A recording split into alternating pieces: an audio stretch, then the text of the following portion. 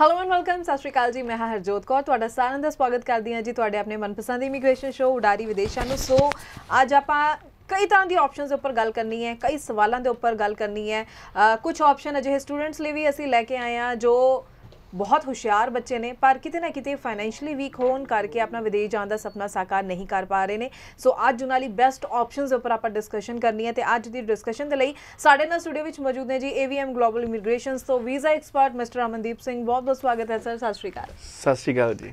ਜੀ ਸਰ ਜਦੋਂ ਆਪਾਂ ਗੱਲ ਵਿਦੇਸ਼ ਜਾਣ ਦੀ ਕਰਦੇ ਹਾਂ ਕਈ ਤਰ੍ਹਾਂ ਦੀਆਂ ਪ੍ਰੋਫਾਈਲਸ ਹੁੰਦੀਆਂ ਕਈ ਤਰ੍ਹਾਂ ਦੇ ਸਵਾਲ ਹੁੰਦੇ ਨੇ ਸਾਡੇ ਕੋਲ ਵੀ ਬਹੁਤ ਸਾਰੇ ਸਵਾਲ ਆਉਂਦੇ ਨੇ ਤੇ ਅੱਜ ਦੇ ਸਮੇਂ ਵਿੱਚ ਜੋ ਸਵਾਲ ਅਹਿਮ ਬਣਿਆ ਹੋਇਆ ਇੱਕ ਆਸਟ੍ਰੇਲੀਆ ਨੂੰ ਲੈ ਕੇ ਵੀ।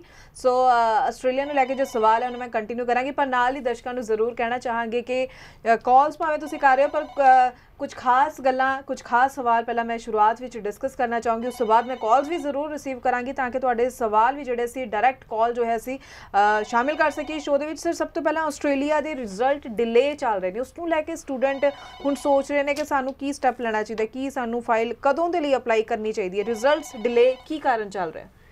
ਆਸਟ੍ਰੇਲੀਆ ਦੀ ਆਪਾਂ ਗੱਲ ਕਰ ਰਹੇ ਹਾਂ ਰਿਜ਼ਲਟ ਡਿਲੇ ਉਸ ਫਾਈਲ ਤੇ ਚੱਲ ਰਹੇ ਨੇ ਜੋ ਪਹਿਲਾਂ ਫਾਈਲ ਲੌਗਇਨ ਹੋਈਆਂ ਹੋਈਆਂ ਮੀਨ ਟੂ ਸੇ। ਜਿਹੜੀਆਂ ਅਪ੍ਰੈਲ ਤੋਂ ਪਹਿਲਾਂ ਲੌਗਇਨ ਹੈ ਜੀ। ਉਹਨਾਂ ਦੇ ਪੈਂਡਿੰਗ ਚੱਲ ਰਹੇ ਨੇ ਹੁਣ ਜਿਹੜੀ ਰੀਸੈਂਟਲੀ ਫਾਈਲ ਲੌਗਇਨ ਹੋ ਰਹੀ ਹੈ ਆਸਟ੍ਰੇਲੀਆ ਉਹਨਾਂ ਦਾ ਈਜ਼ੀਲੀ ਜਲਦੀ ਵੀਜ਼ਾ ਰਿਜ਼ਲਟ ਦੇ ਰਿਹਾ ਹੈ. ਹੁਣ ਕੁਝ ਵੀ ਰਿਜ਼ਲਟ ਆਏ ਉਹ ਅਲੱਗ ਚੀਜ਼ ਹੈ ਬਟ। ਰਿਜ਼ਲਟ ਜਲਦੀ ਆ ਰਿਹਾ ਹੈ। ਨਾਲੇ ਨਾਲੇ ਆਸਟ੍ਰੇਲੀਆ ਨੇ ਨਾ ਹੁਣ ਉਹਨਾਂ ਨੇ ਇੱਕ ਚੀਜ਼ ਕੀ ਨਵੀਂ ਸਟਾਰਟ ਨਹੀਂ ਬੋਲਾਂਗਾ ਮੈਂਸ਼ਨ ਕਰਨੀ ਕੀ ਉਹਨਾਂ ਨੇ ਸਟਾਰਟ ਕਰਤੀ ਹੈ। ਜਦੋਂ ਆਪਾਂ ਫਾਈਲ ਲੌਗਇਨ ਕਰਦੇ ਆ ਸਟਾਰਟ ਕਰਦੇ ਆ ਬੱਚੇ ਦਾ ਈਮੇਲ ਅਕਾਊਂਟ ਆਪਾਂ ਪ੍ਰਿਪੇਅਰ ਕਰਦੇ ਆ ਜੀ। ਉਹਦੇ ਉੱਪਰ ਪਹਿਲੀ ਨੋਟੀਫਿਕੇਸ਼ਨ ਹੀ ਉਹ ਬੀਪ ਕਰਦੀ ਹੈ ਉਹਨਾਂ ਦੀ। ਇਨ ਕੇਸ ਤੁਹਾਡੀ ਮਿਸਲੀਡਿੰਗ ਇਨਫੋਰਮੇਸ਼ਨ ਹੈ ਇਨਕੰਪਲੀਟ ਇਨਫੋਰਮੇਸ਼ਨ ਹੈ ਜਾਂ ਚੀਜ਼ ਤੁਸੀਂ ਉਹਨੂੰ ਗੁੰਮਰਾਹ ਕਰ ਰਹੇ ਹੋ ਉਹ ਤੁਹਾਨੂੰ ਰਿਫਿਊਜ਼ਲ ਨਹੀਂ ਦੇਣਗੇ ਉਹ ਤੁਹਾਨੂੰ ਪੈਂਡਿੰਗ ਛੱਡ ਦੇਣਗੇ। ਪੈਂਡਿੰਗ ਵੀ ਇਹ ਨਹੀਂ ਹੈ ਕਿ ਕੋਈ ਮਹੀਨੇ ਦੋ ਮਹੀਨੇ ਦੇ ਵਿੱਚ ਮੈਕਸਿਮਮ ਮੈਕਸਿਮਮ ਹੁਣ ਉਹ 13 13 ਮਹੀਨੇ ਦਾ ਵੀ ਉਹਨਾਂ ਨੇ ਗਾਈਡਲਾਈਨ ਦਿੱਤੀਆਂ। ਓਕੇ ਦੈਟਸ ਵਾਈ ਕੁਝ ਵੀ ਮਿਸਲੀਡਿੰਗ ਇਨਫੋਰਮੇਸ਼ਨ ਨਾ ਭਰੋ ਆਪਣੀ ਫਾਈਲ ਦੇ ਵਿੱਚ ਕੁਝ ਵੀ ਗਲਤ ਨਾ ਭਰੋ ਕਰੈਕਟ ਇਨਫੋਰਮੇਸ਼ਨ ਦਿਓ ਤੇ ਆਪਣੇ ਏਜੰਟ ਨੂੰ ਵੀ ਇਹੀ ਕਹੋ ਕਿ ਮੇਰੀ ਜਿਹੜੀ ਫਾਈਲ ਹੈ ਉਹ ਕੰਪਲੀਟ ਇੱਕ ਵਾਰ ਹੀ ਉਹਨੂੰ ਕੰਪਲੀਟ ਕਰਕੇ ਹੀ ਲੌਗਇਨ ਕਰੇ। ਕੋਈ ਚੀਜ਼ ਉਹਦੇ ਵਿੱਚ ਪੈਂਡਿੰਗ ਨਾ ਛੱਡੇ। ਦੈਟਸ ਵਾਈ ਆਪਣੀ ਐਸਓਪੀ ਵਗੈਰਾ ਖੁਦ ਪੜੋ ਤੇ ਖੁਦ ਹੀ ਬਣਾਓ। ਜੀ ਜੀ। ਹੁਣ ਫਾਈਲ ਲੌਗਇਨ ਕਰੋਗੇ ਰਿਜ਼ਲਟ ਹੁਣ ਜਲਦੀ ਆਊਗਾ ਬਸ ਜਿਹੜੀ ਚੀਜ਼ਾਂ ਦਿਖਾਈਆਂ ਉਹਨਾਂ ਦਾ ਧਿਆਨ ਰੱਖੋ। ਜੀ। ਠੀਕ ਹੈ। ਤੇ ਆਸਟ੍ਰੇਲੀਆ ਦੇ ਨਾਲ ਨਾਲ ਹੋਰ ਬਹੁਤ ਆਪਸ਼ਨ ਹੈ। ਜੇ ਫਿਰ ਵੀ ਤੁਹਾਡੇ ਦਿਲ ਚ ਡਰ ਹੈ ਸ਼ਾਇਦ ਵੀ ਨਹੀਂ ਦੂਸਰੇ ਬੱਚਿਆਂ ਦਾ ਪੈਂਡਿੰਗ ਹੈ ਮੇਰਾ ਵੀ ਪੈਂਡਿੰਗ ਨਾ ਰਹਿ ਜੇ ਤੇ ਆਸਟ੍ਰੇਲੀਆ ਦੇ ਨਾਲ ਨਾਲ ਹੁਣ ਨਿਊਜ਼ੀਲੈਂਡ ਵੀ ਓਪਨ ਹੋ ਚੁੱਕਿਆ ਹੈ। ਔਰ ਤੁਹਾਡੇ ਕੋਲ ਯੂਕੇ ਵੀ ਆਪਸ਼ਨ ਹੈਗਾ।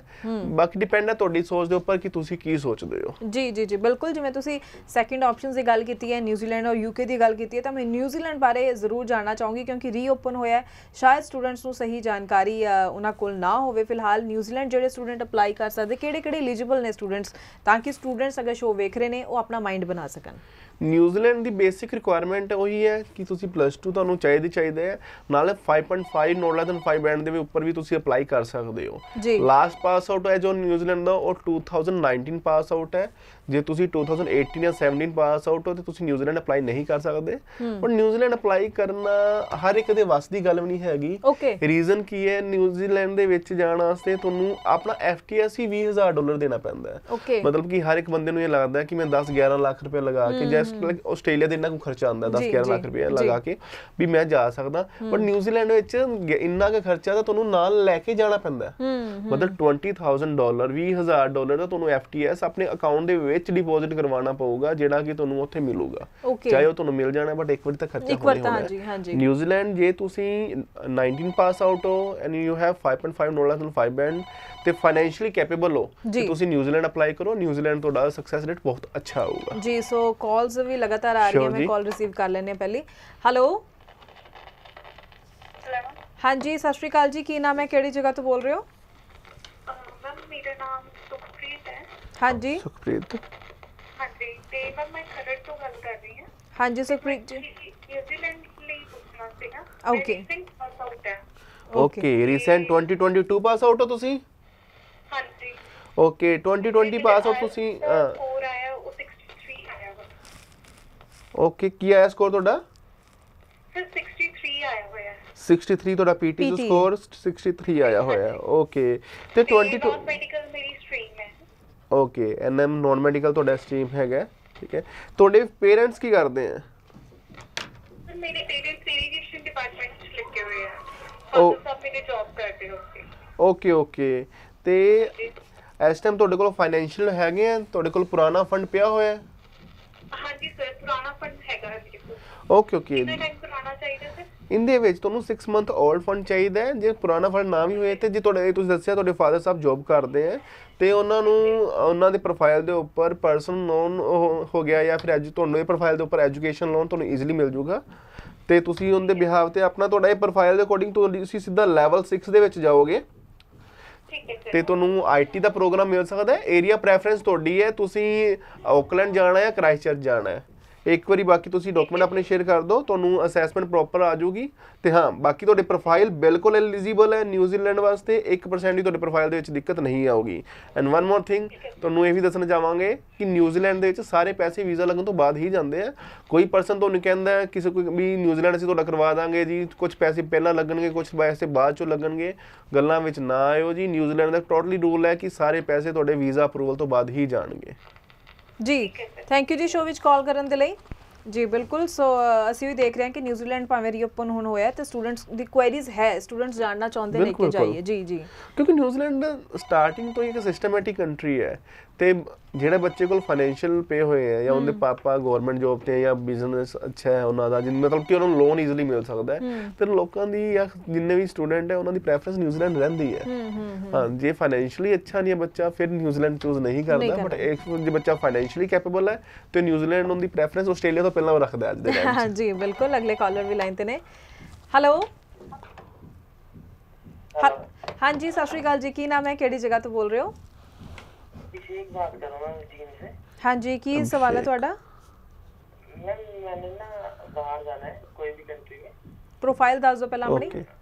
मैंने 21 पास आउट करी है कॉमर्स से 80% के साथ। Okay okay. 21 pass out of commerce के साथ एंड 81% क्लियर नहीं मैम भी नहीं करी पीटी भी नहीं करी। क्यों? एक्चुअली ना मेरे फाइनेंशियल थोड़े कमज़ोर है। मतलब? तो मतलब मेरे मतलब फादर प्राइवेट जॉब करते हैं और मदर हाउस वाइफ ही है। तो मतलब इतना सारा बजट नहीं है। Okay. तो कोई कंट्री का हो सकता है? जी जी जी बिल्कुल आप फिर भी एक एक चीज़ बताओगे कि आपके फादर जो जॉब कर रहे हैं तो सैलरी वगैरह मतलब चलो ये मैं आपको नहीं पूछूँगा आपसे सॉरी फाइनेंशियल कितना तक आपको है कि मैं इतने तक पैसे लगा सकता हूँ? कि बिल्कुल ही अप डाउन हो? नहीं नहीं सर मतलब इतना हो कि भी तीन चार लाख तक कोई काम मुझे तीन चार लाख तक। तो मेरे अकॉर्डिंग तो फिर आपको शायद ना ऑस्ट्रेलिया, ना यूके ना न्यूजीलैंड कुछ भी आपको सेलेक्ट नहीं करना चाहिए। आपका प्रोफ़ाइल डाउन है। प्रोफ़ाइल तो सॉरी अच्छा है मतलब फाइनेंशियली हम बात कर रहे हैं। इस प्रोफ़ाइल को अकॉर्डिंग टू मी आप पहले सिंगापुर जाइए। सिंगापुर में आपको फ्यूचर सेटल करने के लिए नहीं आपको बोल रहा आप सिंगापुर जाओ पहले। सिंगापुर वन ईयर का कोर्स कंप्लीट करो क्योंकि सिंगापुर का बेनिफिट क्या है कि सिंगापुर जो प्रोग्राम आपको डील होता है वो सिक्स प्लस सिक्स होता है। मीन टू से सिक्स मंथ आपने स्टडी करनी है। लास्ट सिक्स मंथ आपको फाइनेंशियली मतलब स्ट्रांग होने के लिए वो पॉइंट मिल जाता है। तो लास्ट सिक्स मंथ में आपने काम करना है अपना आपकी ओजेटी मिलेगी। मतलब जो पैसा आपने आगे लगाना है मतलब कैसे? कौन सा कोर्स में जाएँगे? मतलब वो हॉस्पिटैलिटी मैनेजमेंट के अंदर जाओगे आप एचएम के अंदर जाओगे। लेकिन मैंने तो ट्वेल्थ उसमें करी है ना कॉमर्स में। नहीं बट सिंगापुर में अगर आपने जाना है तो आपका स्ट्रीम एक ही रहेगा हॉस्पिटैलिटी मैनेजमेंट हाँ वैसे लॉजिस्टिक मैनेजमेंट में जा सकते हो बट उसके अंदर फिर आपको ओजेटी में दिक्कत आएगी। हम्म हम्म। ठीक है? एंड आपका आप एक काम कीजिए आप अपना पाथवे प्रोग्राम बनाइए आप क्या कर सकते हो? आप सिंगापुर जाओ। सिंगापुर क्या है कि आपको सिक्स प्लस सिक्स प्रोग्राम में आपकी डील होगा। मतलब सिक्स मंथ आपने स्टडी करनी है सिक्स मंथ आपने वहाँ पे आपको ओजेटी प्लस आपको काम करने की वहाँ पे परमिशन मिलती है। जी। आप उसके साथ साथ जो लास्ट सिक्स मंथ है अपने फाइनेंशियली आप गेन कर सकते हो। आप अपना सारा कलेक्शन करके वही उसी पैसे को आप आगे किसी कंट्री में जाने के लिए यूज़ यूज़ कर सकते हो। तो यहाँ पे ਆਪਣੇ ਪੇਰੈਂਟਸ ਕੇ ਉੱਪਰ ਜ਼ਿਆਦਾ ਆਪਾਂ ਬੇਸਿਕ ਗੱਲ ਕਰੀ ਕਰਜ਼ਾ ਨਾ ਚੜਾ ਕੇ ਤੁਸੀਂ ਉਹ ਸਿੰਗਾਪੁਰ ਜਾਓ ਆਪਣਾ ਫਾਈਨੈਂਸ਼ੀਅਲੀ ਸਟਰੋਂਗ ਹੋਵੋ ਤੇ ਅਗਰ ਆਪਾਂ ਅੱਗੇ ਕਿਸੇ ਦੂਸਰੀ ਕੰਟਰੀ ਅਪਲਾਈ ਕਰੋ। ਜੀ ਜੀ ਜੀ ਬਿਲਕੁਲ। ਸੋ ਇਸੇ ਤਰੀਕੇ ਨਾਲ ਹੁੰਦਾ ਹੈ ਕਿ ਪ੍ਰੋਫਾਈਲਸ ਵਿੱਚ ਬਹੁਤ ਸਾਰੇ ਐਸੇ ਪੁਆਇੰਟਸ ਹੁੰਦੇ ਨੇ ਜੋ ਸਟੂਡੈਂਟਸ ਨੂੰ ਖੁਦ ਸਮਝ ਨਹੀਂ ਹੁੰਦਾ ਕਿ ਚੰਗਾ ਕੰਸਲਟੈਂਟ ਹੀ ਤੁਹਾਨੂੰ ਸਹੀ ਗਾਈਡੈਂਸ ਦੇ ਸਕਦਾ ਤਾਂ ਕਿ ਤੁਸੀਂ ਸਹੀ ਰਸਤੇ ਤੇ ਚੱਲ ਕੇ ਆਪਣਾ ਵੀਜ਼ਾ ਲੈ ਸਕੋ। ਹੈਲੋ ਹੈਲੋ ਹਾਂਜੀ ਸਤਿ ਸ਼੍ਰੀ ਅਕਾਲ ਜੀ। ਕੀ ਨਾਮ ਹੈ? ਕਿਹੜੀ ਜਗ੍ਹਾ ਤੋਂ ਬੋਲ ਰਹੇ ਹੋ? मैम रजत बात कर रहा हूँ रोहतक से। हाँ जी रजत जी की सवाल है? मैम मेरा सवाल है कि मैंने प्लस टू की है ट्वेंटी ट्वेंटी में। ओके। आर्ट्स मेरा सब्जेक्ट है सेवेंटी परसेंट मेरे मार्क्स हैं। ठीक है। और आर्ट्स और पीटी पीटी है आ, सर मेरी ओवरऑल फिफ्टी थ्री है not less than forty seven है। ओके। okay. कितने अप्लाई करना चाहते हो? ऑस्ट्रेलिया ऑस्ट्रेलिया हाँ जी सर रंजित जी आपके प्रोफ़ाइल के अकॉर्डिंग आपको ऑस्ट्रेलिया के अंदर इजीली बट आपको वेट प्रोग्राम के अंदर आपका एडमिशन होगा। आपका यहाँ इस प्रोग्राम के अकॉर्डिंग वेट के अंदर आपको आप कम्युनिटी सर्विस के अंदर जा सकते हो early childhood old age care और एच एम हॉस्पिटैलिटी मैनेजमेंट ये कोर्स आपको मिल सकता है ठीक है? इसके अंदर आप- आप अप्लाई कर सकते हो जिसके अंदर मेलबोर्न बिस्मेन लोकेशन आपकी प्रेफरेंस रहेगी क्योंकि कॉलेज वेट है वो पूरे के- ऑस्ट्रेलिया के अंदर है ठीक है? And then you are eligible आप अप्लाई कर सकते हो इस प्रोफ़ाइल के अकॉर्डिंग ਜੀ। ਥੈਂਕ ਯੂ ਜੀ ਸ਼ੋ ਵਿੱਚ ਕਾਲ ਕਰਨ ਦੇ ਲਈ ਤੇ ਮੈਂ ਹੁਣ ਯੂਕੇ ਬਾਰੇ ਵੀ ਗੱਲ ਕਰਨਾ ਚਾਹਾਂਗੀ ਜੋ ਬਹੁਤ ਸਾਰੇ ਸਟੂਡੈਂਟਸ ਦਾ ਸਵਾਲ ਹੁੰਦਾ ਕਿ ਵਿਦਆਊਟ ਆਇਲਸ ਅਸੀਂ ਅਪਲਾਈ ਕਰਨਾ ਚਾਹੁੰਦੇ ਹਾਂ। ਯੂਕੇ ਵਿਦਆਊਟ ਆਇਲਸ ਕਿੰਨਾ ਕੁ ਸੱਚ ਹੈ ਔਰ ਕਿੰਨਾ ਕੁ ਅਸੀਂ ਜਾਇਜ਼ ਮੰਨੀਏ ਜਾਂ ਨਾ ਮੰਨੀਏ? ਮੈਡਮ ਯੂਕੇ ਦੀ ਆਪਾਂ ਗੱਲ ਕਰ ਰਹੀ ਹੈ ਯੂਕੇ ਇੱਕ ਇਹੋ ਜਿਹੀ ਕੰਟਰੀ ਹੈ ਜਿਨੇ ਇੰਗਲਿਸ਼ ਨੂੰ ਜਨਮ ਦਿੱਤਾ ਹਾਂਜੀ। ਠੀਕ ਨਾ? ਯੂਕੇ ਆਪਾਂ ਆਇਲਸ ਕਰ ਲਈਏ ਪੀਟੀ ਕਰ ਲਈਏ ਉਹ ਸਾਰਾ ਯੂਕੇ ਬੇਸ ਹੀ ਮੰਨਿਆ ਜਾਂਦਾ ਹੈ। ਹੁਣ ਜੇ ਯੂਕੇ ਜਿਹੜੀ ਜਿਸ ਕੰਟਰੀ ਨੇ ਆਇਲ ਸਟਾਰਟ ਕੀਤੀ ਹੈ ਜਾਂ ਪੀਟੀ ਉਹਨਾਂ ਦੇ ਫੋਰਮੈਟ ਤੇ ਚੱਲ ਰਿਹਾ ਤੇ ਉਹ ਆਪ ਨੂੰ ਵਿਦਆਊਟ ਆਇਲਸ ਕਿਵੇਂ ਐਡਮਿਸ਼ਨ ਦੇ ਹਾਂਜੀ ਹਾਂਜੀ। ਵਿਦਆਊਟ ਆਇਲਸ ਹੈ ਵਿਦਆਊਟ ਇੰਗਲਿਸ਼ ਨਹੀਂ ਹੈਗਾ ਇਹ ਚੀਜ਼ ਨੋਟ ਕਰਕੇ ਰੱਖੋ। ਵਿਦਆਊਟ ਆਇਲਸ ਤਾਂ ਆਲਮੋਸਟ ਹੁਣ ਹਰ ਇੱਕ ਯੂਨੀਵਰਸਿਟੀ ਬੰਦ ਹੀ ਹੋ ਚੁੱਕੀ ਹੈ। ਜੀ ਕੋਈ ਤੁਹਾਨੂੰ ਪਰਸਨ ਕੋਈ ਕਹਿੰਦਾ ਹੈ ਵੀ ਵਿਦਆਊਟ ਆਇਲਸ ਤੁਹਾਡਾ ਕਰਵਾ ਦਾਂਗੇ ਬਟ ਉਹ ਪੋਸੀਬਲ ਨਹੀਂ ਹੋ ਪਾਏਗਾ ਤੁਹਾਡਾ ਇੰਟਰਵਿਊ ਬਹੁਤ ਟਾਈਟ ਹੋਊਗਾ। ਰੀਜ਼ਨ ਕੀ ਹੈ ਮੈਂ ਤੁਹਾਨੂੰ ਇੱਕ ਐਕਸਪੀਰੀਅੰਸ ਹੁਣੇ ਸ਼ੇਅਰ ਕਰੂੰਗਾ। ਥੋੜੇ ਦਿਨ ਪਹਿਲਾਂ ਮੇਰੇ ਕੋਲ ਇੱਕ ਐਵੇਂ ਹੀ ਪਰਸਨ ਆਇਆ ਸੀ ਐਂਡ ਬੇਸਿਕਲੀ ਹੀ ਇਜ਼ ਫਰਮ ਜੀਂਦ. ਜੀਂਦ ਤੋਂ ਪਰਸਨ ਸੀ। ਉਹਦਾ ਕਿਸੇ ਏਜੰਟ ਨੇ ਵਿਦਆਊਟ ਆਇਲਸ ਵੀਜ਼ਾ ਲਗਵਾਇਆ ਆਈ ਡੋਨਟ ਨੋ ਕਿਵੇਂ ਲਗਵਾਇਆ ਉਹਨੇ। ਓਕੇ ਬੱਚੇ ਦਾ ਪ੍ਰੋਫਾਈਲ 2014 ਪਾਸ ਆਊਟ ਸੀ। ਵੀਜ਼ਾ ਲੱਗ ਕੇ ਉਹ ਚਲਾ ਗਿਆ ਬੱਚਾ ਇੱਥੋਂ। ਜੀ। ਪਹਿਲਾਂ ਤਾਂ ਉਹਨੂੰ ਦਿੱਲੀ 에ਅਰਪੋਰਟ ਤੇ ਰੋਕ ਲਿੱਤਾ ਗਿਆ। ਠੀਕ ਹੈ। ਫਰਸਟ ਫਲਾਈਟ ਉਹਦੀ ਉੱਥੇ ਕੈਨਸਲ ਹੋ ਗਈ। ਜੀ। ਉਹਨੂੰ ਵਾਪਸ ਕਰ ਦਿੱਤਾ ਗਿਆ। ਉਹ ਦੁਆਰ ਤੋਂ ਫਲਾਈਟ ਲੈ ਕੇ ਫਿਰ ਗਿਆ। ਫਿਰ ਉਹ ਯੂਕੇ ਜਦੋਂ ਲੰਡਨ 에ਅਰਪੋਰਟ ਤੇ ਪਹੁੰਚਿਆ ਉੱਥੇ ਉਹਦਾ ਇੰਟਰਵਿਊ ਫਿਰ ਦੁਬਾਰਾ ਹੋਇਆ. ਫਿਰ ਉਹਨੂੰ ਵੀਜ਼ਾ ਤੇ ਉਹਦੀ ਕੈਨਸਲ ਦੀ ਸਟੈਂਪ ਲਗਾ ਕੇ ਵਾਪਸ ਭੇਜ ਦਿੱਤਾ ਗਿਆ। ਓਹੋ ਅੱਛਾ।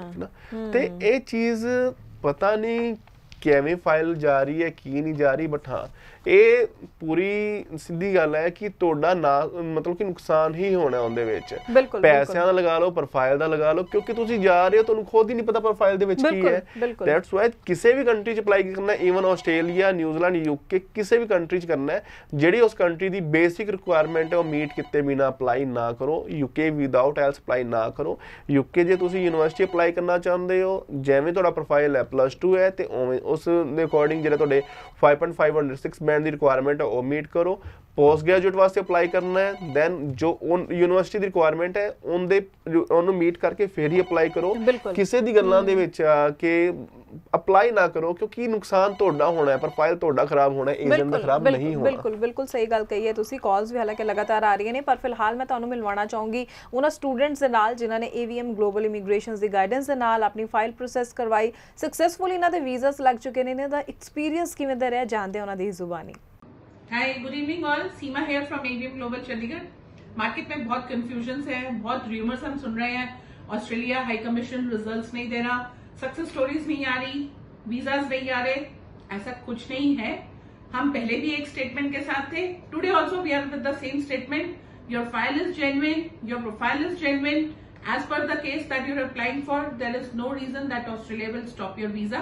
And with the same statement, इसको prove करने के लिए I have again another success story of tourist spouse visa Virendra ji हैं मेरे साथ यमुनानगर से, जिनका प्रायर अगर मैं केस बताऊँ तो आप कहेंगे yes these rumours are rumours only no travel history to refusal but the profile was genuine we applied and we got the visa that too in just fifteen days spouse visa tourist visa for Australia Virendra ji we would like to share your success story आपसे सुनना चाहेंगे आपका experience मेरा नाम वीरेंद्र है और मैं हरियाणा से बिलोंग करता हूँ हरियाणा के यमुनानगर डिस्ट्रिक्ट से। अ, मैंने जुलाई में अपने डॉक्यूमेंट्स एवीएम वीज़ा ग्लोबल के ऑफ़िस में चंडीगढ़ सबमिट कराए थे और एम्बेसी फ़ीस 21 जुलाई को मैंने एम्बेसी फ़ीस मैंने पे की थी और 2 अगस्त को मेरा वीज़ा ऑस्ट्रेलिया का विद स्पाउस टूरिस्ट वीज़ा लग के आ गया।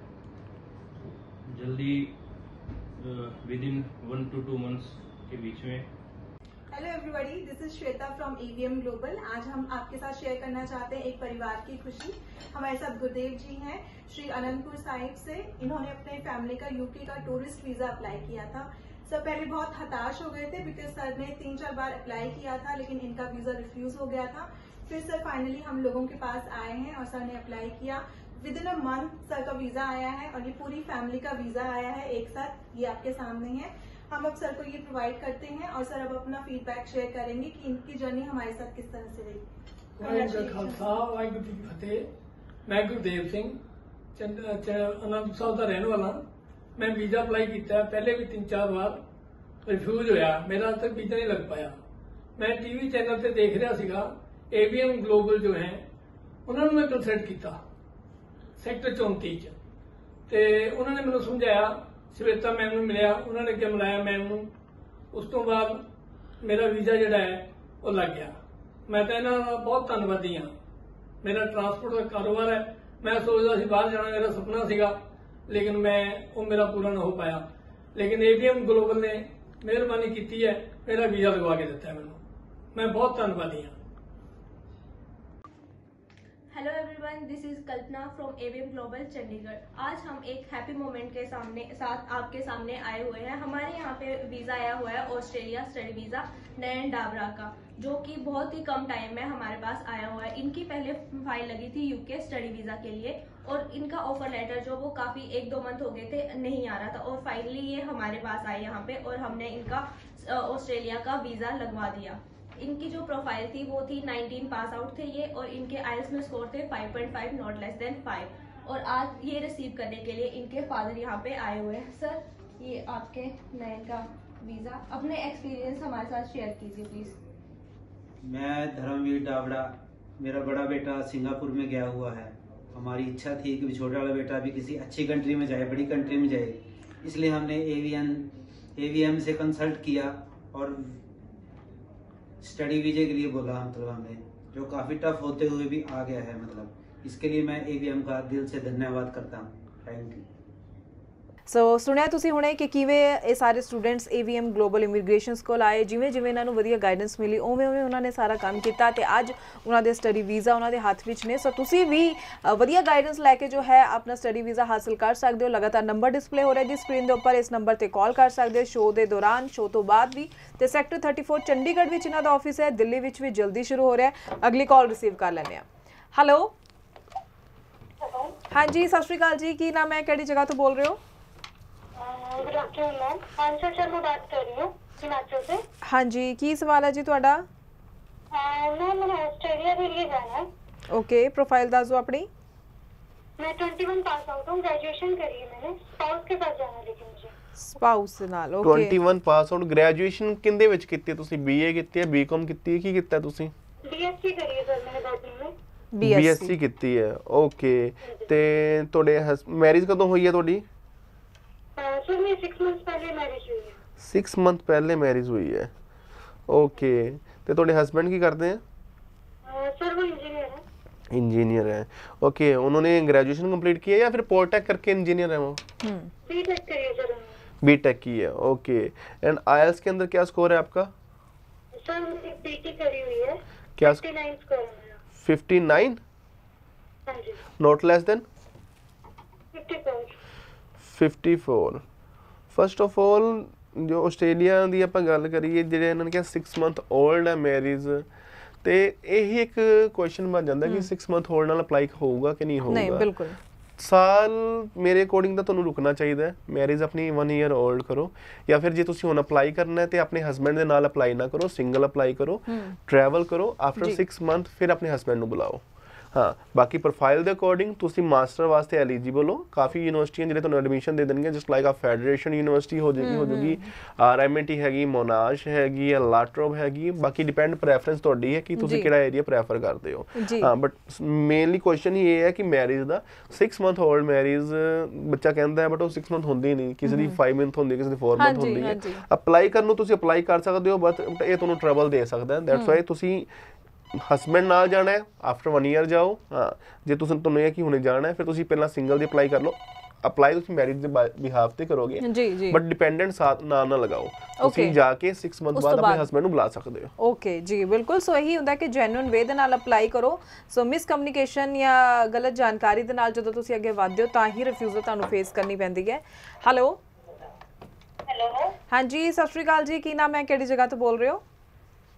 सत श्रीकाल मैम मैम मैं सौ- सौम्या बात कर रही हूँ पानीपत से ਹਾਂਜੀ ਕੀ सवाल है ਤੁਹਾਡਾ मैम मैंने यूके का वीजा लगवाना है अपना स्टडी वीजा ਓਕੇ ਪ੍ਰੋਫਾਈਲ ਦੱਸ ਦਿਓ ਆਪਣੀ मैम मैंने आईएलटीएस की है सिक्स बैंड है मेरे और 5.5 है एक मॉड्यूल में रीडिंग में ਓਕੇ ਕੁਆਲੀਫਿਕੇਸ਼ਨ ਕੀ ਹੈ ਤੁਹਾਡੀ प्लस टू की है 2021 में और आर्ट्स से की है ओके 51 परसेंट मार्क्स है और 2021 के बाद क्या किया आपने फिर गैप है मेरा ओके ओके अ, सौम्या आपका प्रोफ़ाइल यूके के लिए प्रॉपर एलिजिबल है ठीक है ना? बाकी प्रेफरेंस आपकी आपने इनर लंदन जाना है या आउटर लंदन जाना है। ठीक है ना? काफ़ी यूनिवर्सिटी है। आपको बस ये ध्यान रखना चाहिए कि जिस यूनिवर्सिटी के अंदर आप अप्लाई कर रहे हो वो यूनिवर्सिटी इस टाइम कैश इशू कर रही है कि नहीं कर रही है। तो यूके में सबसे चैलेंज यही है कि कुछ यूनिवर्सिटी कैश इशू करती कर रही है कुछ इशू नहीं कर रही। जो। यूनिवर्सिटी अभी कैश नहीं दे रही तो उसके अंदर अप्लाई मत करो। हाँ आपके लिए ऑप्शन काफ़ी है। University of east London university या फिर वेस्ट लंदन में भी आप जा सकते हो। बोल्टन यूनिवर्सिटी है बीसीयू यूनिवर्सिटी है बासपा यूनिवर्सिटी है।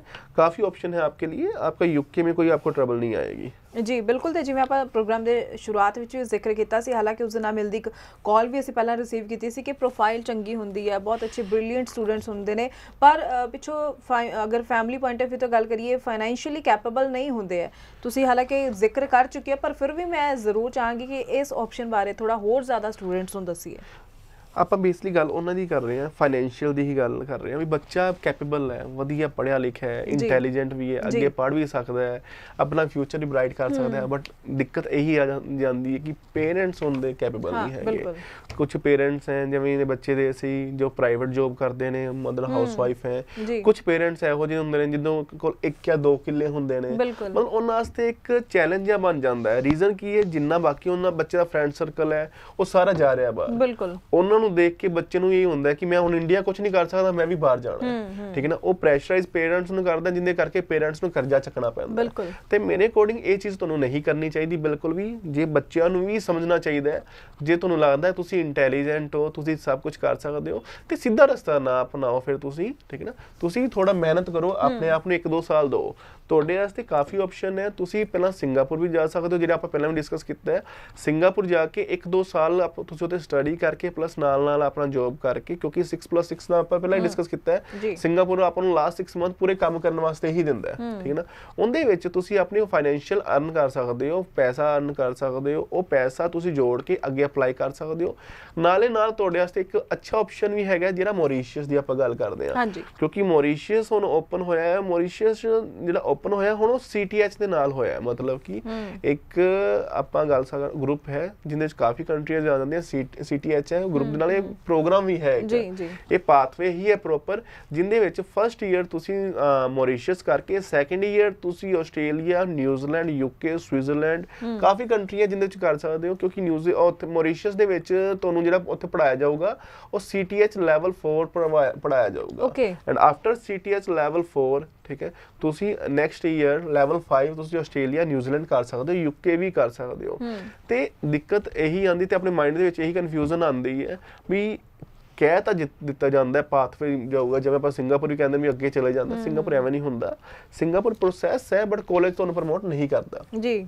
ਇਸ ਚੀਜ਼ ਦੇ ਵਿੱਚ everything is mention on website ਤੁਸੀਂ CTS ਦੀ ਵੈਬਸਾਈਟ ਓਪਨ ਕਰੋਗੇ ਉਹਦੇ ਵਿੱਚ ਸਭ ਕੁਝ ਮੈਂਸ਼ਨ ਹੈ ਕਿ ਇਹ ਪਾਥਵੇ ਪ੍ਰੋਗਰਾਮ ਹੈ ਜਿਹੜਾ ਇਹ ਜੈਨੂਨ ਪ੍ਰੋਗਰਾਮ ਦੇ ਵਿੱਚ ਹੈ ਹਾਂਜੀ। ਕਿਉਂਕਿ ਜਿਹੜਾ ਅੱਗੇ ਯੂਨੀਵਰਸਿਟੀਜ਼ ਹੈ ਉਹ ਕੋਈ ਛੋਟੇ ਛੋਟੇ ਕਾਲਜ ਨਹੀਂ ਹੈ ਜਿਹੜੇ ਪਾਥਵੇ ਦੇ ਵਿੱਚ ਬੱਚਿਆਂ ਨੇ ਜਾਣਾ ਹੈ ਜਸਟ ਲਾਈਕ ਕੇਬਰਟਨ ਯੂਨੀਵਰਸਿਟੀ ਹੋਗੀ ਫਰੇਜ਼ਰ ਵੈਲੀ ਹੋਗੀ ਜਾਰਜਨ ਕਾਲਜ ਹੋਗੇ ਕਾਫੀ ਅੱਛੇ ਅੱਛੇ ਲੈਵਲ ਦੇ ਕਾਲਜ ਐਂਡ ਯੂਨੀਵਰਸਿਟੀਜ਼ ਨੇ ਜਿਹੜੇ ਤੁਹਾਨੂੰ ਪਾਥਵੇ ਦਿੰਦੇ ਨੇ ਬਿਲਕੁਲ ਹਾਂ, ਬਾਕੀ ਰਿਕੁਆਇਰਮੈਂਟ ਅੱਗੇ ਵੀ ਸੇਮ ਰਹੂਗੀ ਮਿਹਨਤ ਅੱਗੇ ਵੀ ਕਰਨੀ ਪਊਗੀ। ਜਿਹੜੀ ਆਸਟ੍ਰੇਲੀਆ ਦੀ ਰਿਕੁਆਇਰਮੈਂਟ ਹੈ ਅੱਗੇ ਜਾਣ ਦੀ ਉਹ ਚਾਹੇ ਤੁਸੀਂ ਇੰਡੀਆ ਤੋਂ ਅਪਲਾਈ ਕਰੋ ਚਾਹੇ ਮੌਰੀਸ਼ੀਅਸ ਤੋਂ ਅਪਲਾਈ ਕਰੋ ਰਿਕੁਆਇਰਮੈਂਟ ਸੇਮ ਹੀ ਰਹੇਗੀ, ਮਤਲਬ। ਜੇ ਤੁਸੀਂ ਇੱਥੋਂ ਚਲੇ ਜਾਂਦੇ ਹੋ ਮੌਰੀਸ਼ੀਅਸ ਤੁਸੀਂ ਚਲੇ ਗਏ ਅੱਗੇ ਜੇ ਤੁਸੀਂ ਉੱਥੋਂ ਆਸਟ੍ਰੇਲੀਆ ਜਾਣਾ ਹੈ ਤੇ ਆਸਟ੍ਰੇਲੀਆ ਦਾ ਐਲੀਜੀਬਿਲਿਟੀ ਕ੍ਰਾਈਟੇਰੀਆ ਫਿਰ ਵੀ ਤੁਹਾਨੂੰ ਮੀਟ ਕਰਨਾ ਹੀ ਪਊਗਾ ਇਹ। ਉਹਨਾਂ ਵਾਸਤੇ ਇਹ ਪ੍ਰੋਗਰਾਮ ਜਿਹੜੇ ਬੱਚੇ ਕੈਪੇਬਲ ਹੈਗੇ ਨੇ ਇੰਟੈਲੀਜੈਂਟ ਹੈਗੇ ਨੇ ਬਟ ਉਹੀ ਚੀਜ਼ ਫਾਈਨੈਂਸ਼ੀਅਲ ਕੈਪੇਬਲ ਨਹੀਂ ਹੈਗੇ ਇੱਕੋ। ਦਮ ਲਾਉਣ ਵਾਸਤੇ। ਉਹਨਾਂ ਵਾਸਤੇ ਇਹੀ ਸਭ ਤੋਂ ਬੈਸਟ ਚੀਜ਼ ਹੈ ਤੁਸੀਂ ਪਾਥਵੇ ਪ੍ਰੋਗਰਾਮ ਹੀ ਚੂਜ਼ ਕਰੋ ਜੀ ਤੇ ਜਦੋਂ ਆਪਾਂ ਪਾਥਵੇ ਪ੍ਰੋਗਰਾਮ ਦੀ ਗੱਲ ਕਰਦੇ ਹਾਂ ਤਾਂ ਕੋਰਸ ਸਿਲੈਕਸ਼ਨ ਦਾ ਵੀ ਇੱਥੇ ਕੋਈ ਫ਼ਰਕ ਪੈਂਦਾ ਹੈ ਕਿ ਲੌਂਗ ਟਰਮ ਆਪਾਂ ਦੇਖ ਕੇ ਚੱਲੀਏ ਕਿ ਕੱਲ ਨੂੰ ਆਪਾਂ ਜਦੋਂ ਮੂਵ ਹੋਣਾ ਹੈ ਤਾਂ ਕੋਈ ਦਿੱਕਤ ਨਾ ਆਵੇ ਜਾਂ ਕੰਟੀਨਿਊ ਰਹਿ ਸਕੇ ਕਿਸ ਤਰੀਕੇ ਨਾਲ ਚੀਜ਼ਾਂ, ਇੱਥੇ ਕੀ ਆਪਾਂ ਡਿਫਰੈਂਸ ਮੰਨ ਸਕਦੇ ਹਾਂ ਕੋਰਸ ਸਿਲੈਕਸ਼ਨ ਦੀ ਆਪਾਂ ਗੱਲ ਕਰਦੇ ਮੈਂ ਹੁਣੇ ਪਹਿਲਾਂ ਹੀ ਕਿ ਕਿ ਚਾਹੇ ਤੁਸੀਂ ਮੌਰੀਸ਼ੀਅਸ ਤੋਂ ਜਾਣਾ ਹੈ ਚਾਹੇ ਤੁਸੀਂ ਸਿੰਗਾਪੁਰ ਤੋਂ ਜਾਣਾ ਹੈ ਬਟ ਅੱਗੇ ਦੀ ਜਿਹੜੀ ਐਲੀਜੀਬਿਲਿਟੀ ਕ੍ਰਾਈਟੇਰੀਆ ਹੈ ਉਹ ਸੇਮ ਹੀ ਰਹੂਗਾ ਉਹਦੇ 'ਚ ਕੋਈ। ਫ਼ਰਕ ਨਹੀਂ ਹੈ। ਤੇ। ਐਲੀਜੀਬਿਲਿਟੀ ਕ੍ਰਾਈਟੇਰੀਆ ਦੇ ਵਿੱਚ ਜਿਹੜਾ ਪਹਿਲਾ ਰੂਲ ਹੈ ਉਹ ਇਹੀ ਹੈ ਕਿ ਜਿਹੜਾ ਤੁਹਾਡਾ ਚੂਜ਼ ਕੋਰਸ ਹੈ ਉਹ ਤੁਹਾਡੀ ਬੇਸਿਕ ਸਟੱਡੀ ਦੇ ਨਾਲ ਮੈਚ ਹੋਣਾ ਹੀ ਚਾਹੀਦਾ। ਮਤਲਬ ਜੇ ਜੋ ਤੁਸੀਂ ਇੱਥੇ ਕੀਤਾ ਹੈ ਜੋ ਤੁਸੀਂ ਅੱਗੇ ਕਰੋਗੇ ਉਹਦੇ ਰੈਲੇਵੈਂਟ ਹੀ ਤੁਸੀਂ ਅੱਗੇ ਪ੍ਰੋਗਰਾਮ ਲਓਗੇ। ਦੈਟਸ ਵਾਈ ਇਹ ਚੀਜ਼ ਥੋੜਾ ਧਿਆਨ ਨਾਲ ਰੱਖਿਓ। ਜੇ ਤੁਸੀਂ ਆਰਟਸ ਕੀਤੀ ਹੈ ਫਿਰ ਐਚਐਮ ਪ੍ਰੋਗਰਾਮ ਲੈ ਸਕਦੇ ਹੋ ਹਸਪਿਟੈਲਿਟੀ ਮੈਨੇਜਮੈਂਟ ਕਿਉਂਕਿ ਐਚਐਮ ਪ੍ਰੋਗਰਾਮ ਇੱਕ ਇਹੋ ਜਿਹਾ ਜਿਹੜਾ ਹਰ ਇੱਕ ਕੰਟਰੀ ਦੇ ਵਿੱਚ ਜਿੰਦੀ ਵੈਲਿਊ ਰਹਿੰਦੀ ਹੈ। ਉਹ ਚੂਜ਼ ਕਰੋ। ਕਮਰਸ ਵਾਲੇ ਅਕਾਊਂਟਿੰਗ ਯੂਜ਼ ਕਰੋ ਨੌਨ ਮੈਡੀਕਲ ਵਾਲੇ ਟੈਕਨੀਕਲ ਯੂਜ਼ ਕਰੋ। ਬਿਲਕੁਲ ਜੀ ਜੀ ਜੀ ਬਿਲਕੁਲ। ਅਗਲੇ ਕਾਲਰ ਸਾਡੇ ਨਾਲ ਲਾਈਨ ਤੇ ਜੁੜ ਚੁੱਕੇ ਨੇ। ਹੈਲੋ ਹੈਲੋ ਹਾਂਜੀ ਸਤਿ ਸ਼੍ਰੀ ਅਕਾਲ ਜੀ। ਕੀ ਨਾਮ ਹੈ? ਕਿਹੜੀ ਜਗ੍ਹਾ ਤੋਂ ਬੋਲ ਰਹੇ ਹੋ? ਕਰਨ ਬਾਤ ਕਰ ਰਹਾ ਹਾਂ ਮੋਹਾਲੀ ਸੇ। ਹਾਂਜੀ ਕੀ ਸਵਾਲ ਹੈ ਜੀ ਤੁਹਾਡਾ?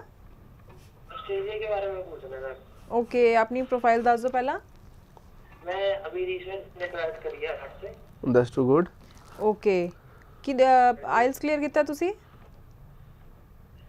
मैं आर्ट से करी है मैंने नहीं, I- मैं आईएलटीएस की हुई है आपने ਆਇਲਸ क्लियर ਕੀਤਾ ਹੈ आइल्स करी हुई है मैम मैंने क्या स्कोर है हेलो क्या स्कोर है आईएलटीएस के अंदर आवाज आवाज कट रही है ਤੁਹਾਡਾ ਸਕੋਰ ਕਿੰਨਾ ਹੈ ਆਇਲਸ ਦਾ मैम मेरे 6.5 बैठा तो लेस देन 6 है एक मॉड्यूल में ਓਕੇ ਤੁਹਾਡੇ ਪੇਰੈਂਟਸ ਕੀ ਕਰਦੇ ਆ? ਪੇਰੈਂਟਸ ਅਸਲ ਬਿਜ਼ਨਸ ਆ ਫਾਦਰ ਦਾ ਦੈਟਸ ਗੁੱਡ ਤੁਹਾਡਾ ਜੇ ਪ੍ਰੋਫਾਈਲ ਹੈ ਕਾਫੀ ਅੱਛਾ ਹੈ। ਤੁਸੀਂ ਲੈਵਲ 1 ਔਰ ਲੈਵਲ 2 ਦੋਨੋਂ ਟਾਈਪ ਦੀ ਯੂਨੀਵਰਸਿਟੀ ਚੂਜ਼ ਕਰ ਸਕਦੇ ਹੋ। ਤੇ ਕੋਈ ਏਰੀਆ ਪ੍ਰੈਫਰੈਂਸ ਹੈ ਤੁਹਾਡੀ? ਹਾਂਜੀ ਸਰ ਮੇਰੇ ਕੋ ਐਡੀਲੇਡ ਜਾਣਾ ਹੈ। ਐਡੀਲੇਡ ਓਕੇ ਕੋਈ ਯੂਨੀਵਰਸਿਟੀ ਪ੍ਰੈਫਰੈਂਸ ਤੁਹਾਡੀ?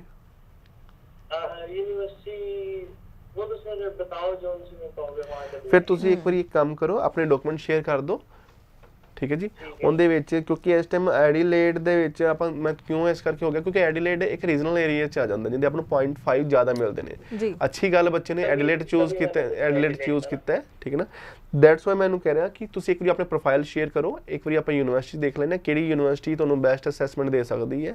ਤੇ ਤੁਹਾਨੂੰ ਅਸੈਸਮੈਂਟ ਸ਼ੇਅਰ ਕਰ ਦਿੱਤੀ ਜਾਏਗੀ ਔਨ ਦੇ ਅਕੋਰਡਿੰਗ ਜੋ ਤੁਸੀਂ ਕੋਰਸ ਤੁਹਾਡੀ ਸਿਲੈਕਸ਼ਨ ਹੋਏਗੀ ਵੀ ਮੈਨੂੰ ਇਹ ਪ੍ਰੋਗਰਾਮ ਚਾਹੀਦਾ ਹੈ ਇਹ। ਯੂਨੀਵਰਸਿਟੀ ਚਾਹੀਦੀ ਹੈ ਉਹਦੇ ਵਿੱਚ ਆਪਾਂ ਪ੍ਰੋਸੀਡ ਕਰਾਂਗੇ। ਫਸਟ ਆਫ ਆਲ ਤੁਸੀਂ ਆਪਣੇ ਡਾਕੂਮੈਂਟ ਸ਼ੇਅਰ ਕਰ ਦਿਓ ਹਾਂ ਤੁਹਾਡੇ ਪ੍ਰੋਫਾਈਲ ਦੇ ਅਕੋਰਡਿੰਗ ਐਡੀਲੇਡ ਤੁਹਾਨੂੰ ਈਜ਼ੀਲੀ ਮਿਲ ਜਾਊਗਾ। ਜੀ। ਥੈਂਕ ਯੂ ਸੋ ਮਚ ਜੀ ਸ਼ੋਅ ਵਿੱਚ ਕਾਲ ਕਰਨ ਦੇ ਲਈ ਬਿਲਕੁਲ। ਸੋ ਢੇਰ ਢੇਰ ਸਾਰੀਆਂ ਪ੍ਰੋਫਾਈਲਸ ਹੁੰਦੀਆਂ ਢੇਰ ਸਾਰੇ ਸਵਾਲ ਹੁੰਦੇ ਨੇ। ਸਾਡੀ ਪੂਰੀ ਕੋਸ਼ਿਸ਼ ਰਹਿੰਦੀ ਹੈ ਕਿ ਜ਼ਿਆਦਾ ਤੋਂ ਜ਼ਿਆਦਾ ਸਵਾਲ ਜ਼ਿਆਦਾ ਤੋਂ ਜ਼ਿਆਦਾ ਪ੍ਰੋਫਾਈਲਸ ਅਸੀਂ ਡਿਸਕਸ ਕਰ ਸਕੀਏ ਸ਼ੋਅ ਵਿੱਚ। ਪਰ ਉਮੀਦ ਤੁਹਾਡੇ ਤੋਂ ਵੀ ਇਹ ਕਰਦੇ ਹਾਂ ਕਿ ਜਿੰਨੀ ਜਾਣਕਾਰੀ ਤੁਹਾਡੇ ਨਾਲ ਸਾਂਝੀ ਕਰਦੇ ਹਾਂ ਤੁਸੀਂ ਉਸ ਦਾ ਸਭ ਤੋਂ ਵੱਧ ਫਾਇਦਾ ਜ਼ਰੂਰ ਚੱਕੋ ਤੇ ਤੁਹਾਡਾ ਵੀ ਬਹੁਤ ਬਹੁਤ ਧੰਨਵਾਦ ਕਰਦੇ ਹਾਂ ਸਰ ਕਿ ਤੁਸੀਂ ਇਹ ਖਾਸ ਗੱਲ ਅਹਿਮ ਜਾਣਕਾਰੀ ਸਾਡੇ ਦਰਸ਼ਕਾਂ ਨਾਲ ਸਾਂਝੀ ਕੀਤੀ ਹੈ। ਤੇ ਇਸ ਨਾਲ ਹੀ ਹੁਣ ਮੈਨੂੰ ਯਾਨੀ ਕਿ ਹਰਜੋਤ ਕੌਰ ਨੂੰ ਵੀ ਦਿਓ ਜੀ ਇਜਾਜ਼ਤ। ਧੰਨਵਾਦ। Thank you.